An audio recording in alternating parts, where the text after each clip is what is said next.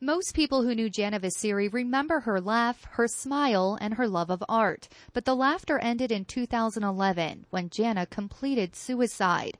She was 30 years old. She had struggled with depression throughout her youth. Jana was a cherished member of the Vicere family, the eldest daughter of two. Soon after her death, her sister Marissa took action. Marissa decided that we needed to do something to try to help other people and help the community. That help came through the Jana Marie Foundation, an organization focusing on young women battling depression. Particularly young people are under a lot more stress. Uh, their schedules are, are just so full.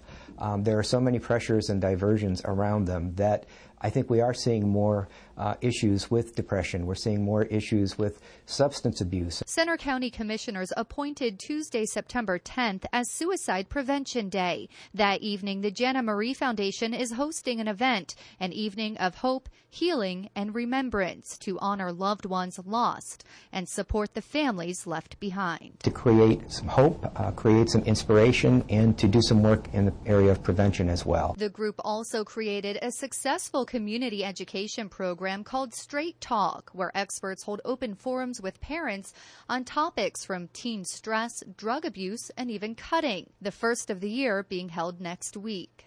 If you see signs or if there are uh, issues that, that you believe should be addressed, then you need to address them. You can't just wait. In State College, Erin Calandra, 6 News.